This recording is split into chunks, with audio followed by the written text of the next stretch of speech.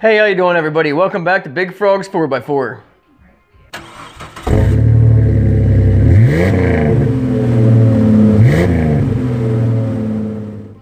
I'm going to be doing a mini series on the Jeep Cherokee with the 4 liter engine.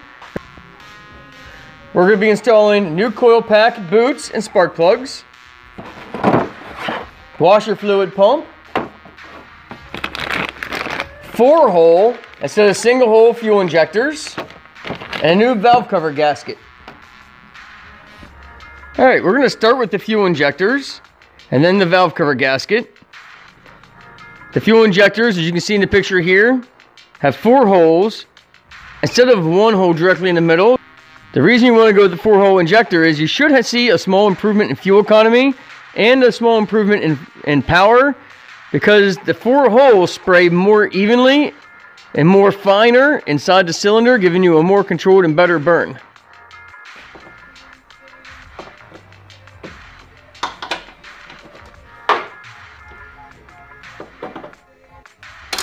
Right, most everything you're gonna need is a 10 millimeter and a flathead screwdriver and a tool to press in and release your fuel line from the fuel rail.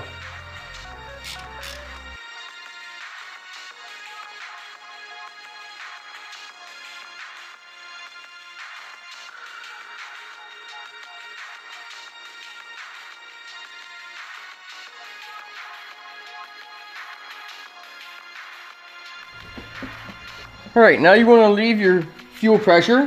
Now if you have a fuel pressure gauge that you can screw into here with the hose and run it into a cup or a bucket or something, you could do that. Or just take a bunch of old rags, pack around here, make sure you're in a well ventilated area because you're going to relieve the fuel pressure that's in the fuel rail. So take a small punch, and inside of there is almost like a tire valve. You can kind of see the end sticking out right here. And you just want to push the end of that in And just to make sure there's no more fuel pressure there. Right, remove your safety clip right here at your fuel line, line rail.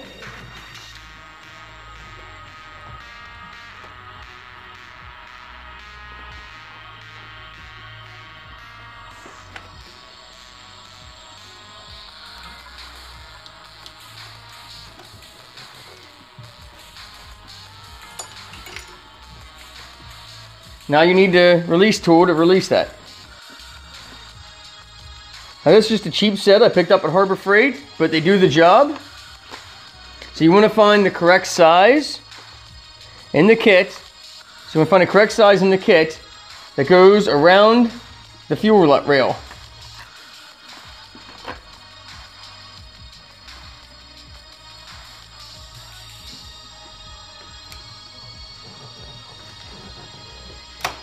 Press it in until you hear a click. That releases the jaws. You can remove your fuel line.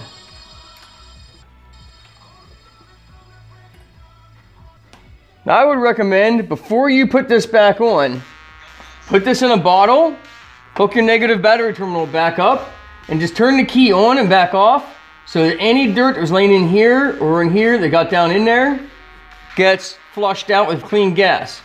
You don't want to have any of the dirt that was here and got down in that line and get pushed into your brand new injectors.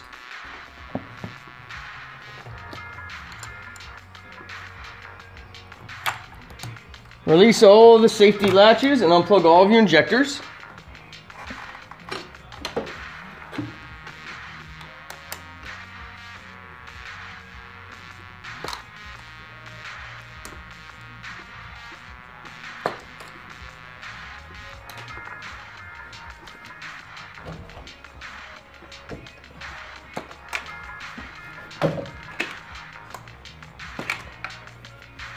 Okay, and then there's a line of 10 millimeter bolts to hold your fuel rail in place.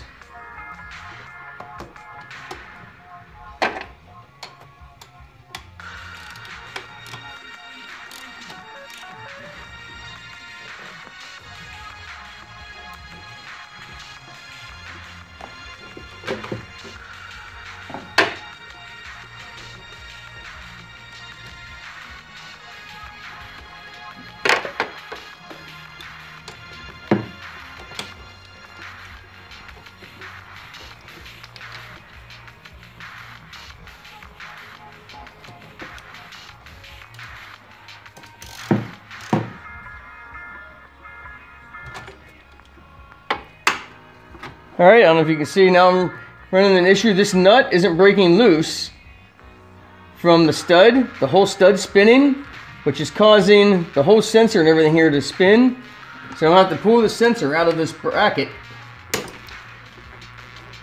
And that way this whole thing can spin out.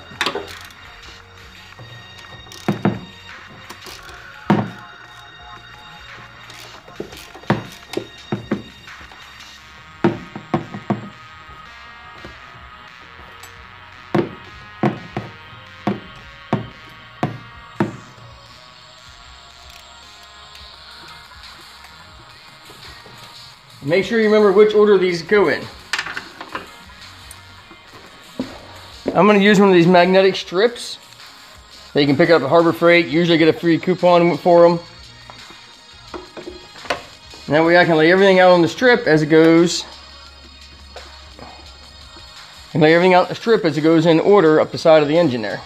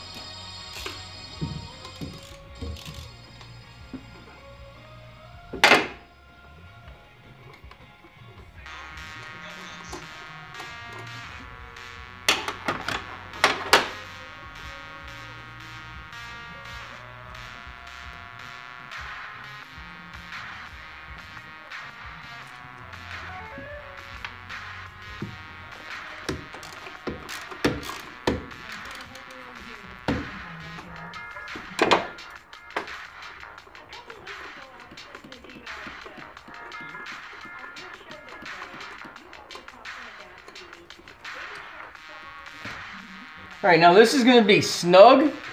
So you wanna make sure you try to pull it and wobble, wiggle it a little bit, just a little bit at a time. That way you don't break any of those injectors off in the cylinder, in the uh, intake.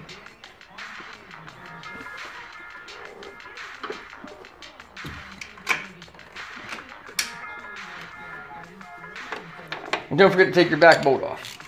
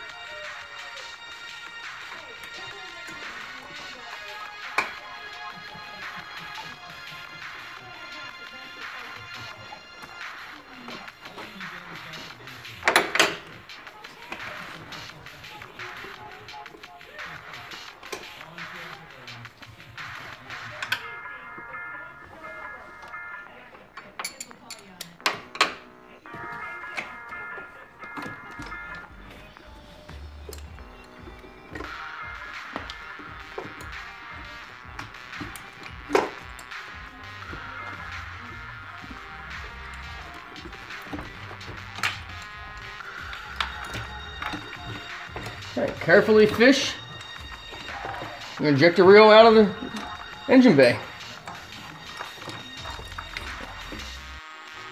All right, all you need for this is a flathead screwdriver. And very gently just work the retainers off each injector.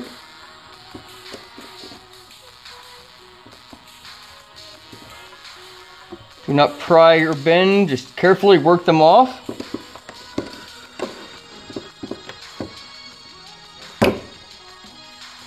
As you see, it's just a clip that holds them into place. Then carefully just kind of twist and pull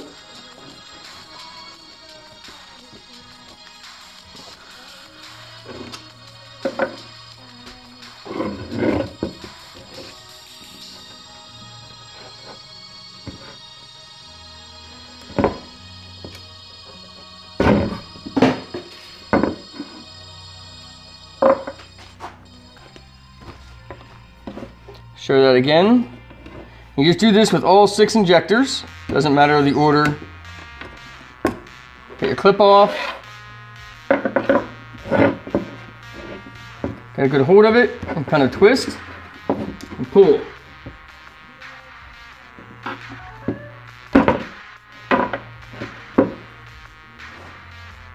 Do that with all six.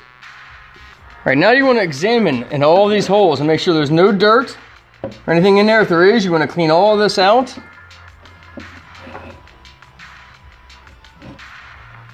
Come along with a clean paper towel and clean all the inside of those holes out.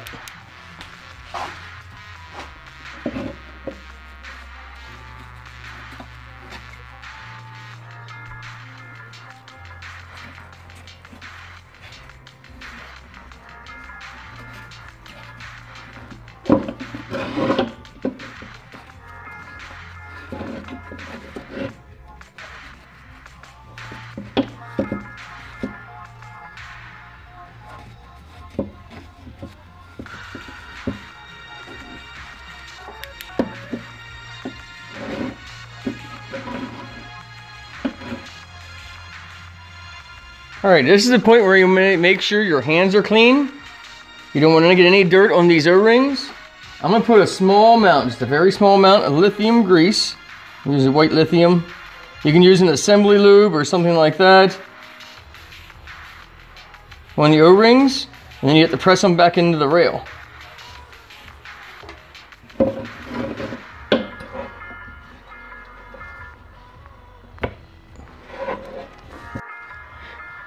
All right, make sure that they're all fully seated into the rail. And then you want to make sure that they're facing the correct direction. The plug comes on this side, not over here. So make sure they're all facing that way. And then you can put your clips back on. Each of the injectors have a small groove right here that the clip slides into. Make sure you're not pressing on the plug, so hold it up. Insert that clip into that groove and slide it until it snaps into place. And make sure your injector then is clipped into place. And to do that with every injector. Make sure that you slide these clips in so that the slot on the side of the clip engages the tapered part of the injector rail. And then these metal clips clip into the groove that's in the injector. All right, now before you lube the bottom O-ring of the injector and install it, Make sure you look in all of your injector holes and make sure they're all clean as well. If there's any dirt or debris in there, make sure you get it out with a clean paper towel. You can do basically the same thing I did with the rail. Kind of ball it up into a ball.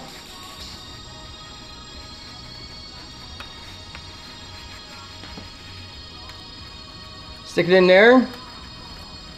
Just kind of whirl it around in the circle and just make sure there's no dirt in there.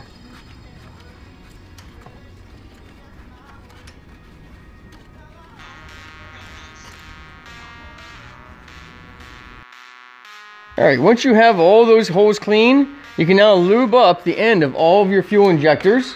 And you don't need a lot, you just need a real thin layer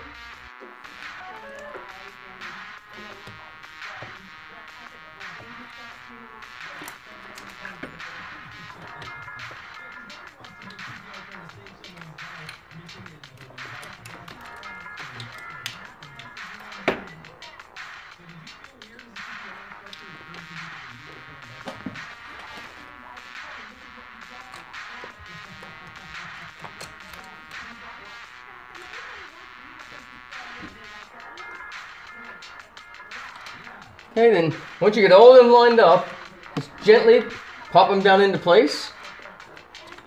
Make sure all your plugs up where you can get them. All right, if you have one of these where the nut won't come off of the post, you're gonna have to hold the nut down here and then crank this nut off. just put all these in loose first. And that way you can get everything lined up nice and straight you can all turn them in by hand. The last thing you want to do is cross thread something that's holding your fuel injectors in that's aluminum. You're not going to get a second chance.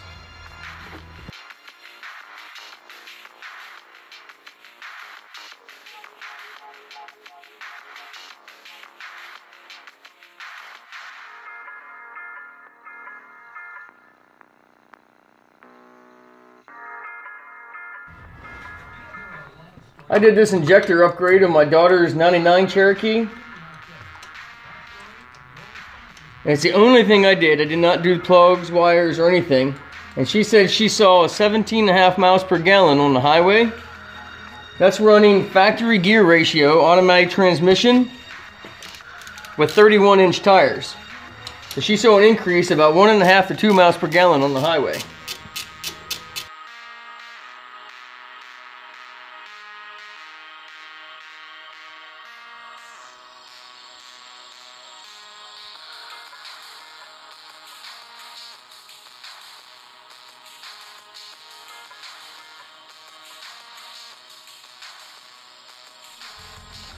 All right, I've disconnected the battery again. You want to make sure that this is completely clean. You don't want any dirt on here because you need to make sure that this seals. You don't want any fuel leaks.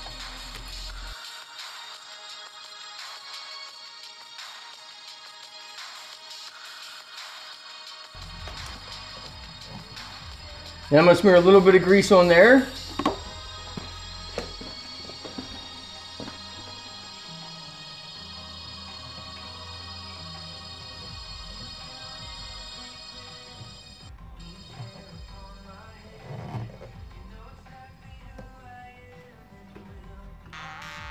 Make sure you slide it on straight.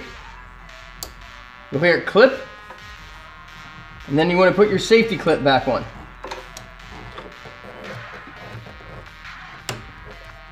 And that locks it into place. All right, now you want to hook your battery back up. All right, once your battery's hooked up, you want to turn the key and just let it on the on position. Do not start it.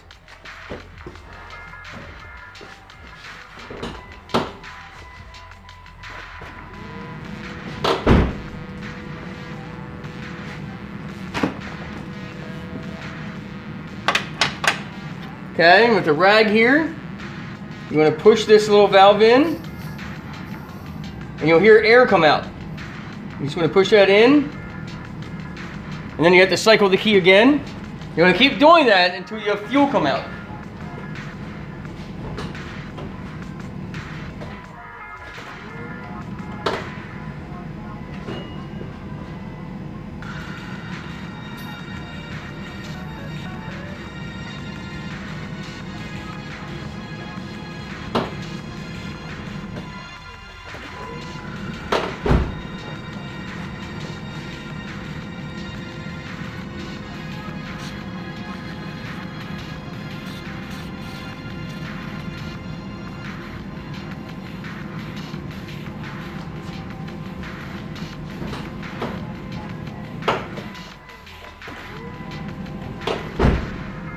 Okay, a little bit of fuel come out, but a lot of air, so this should be the last time.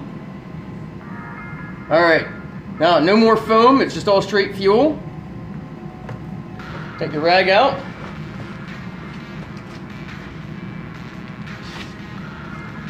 Put your cap back on. And that's how you install the four-hole fuel injectors on a Jeep Cherokee with the 4-liter engine. Thanks for watching Big Frogs 4x4. Don't forget to hit that like button. Subscribe if you want to see more videos. If you want to see more videos of how to on the Jeep Cherokee and the Cherokee series. And also, don't forget to hit that bell if you want notified as each video is released. As always, God bless.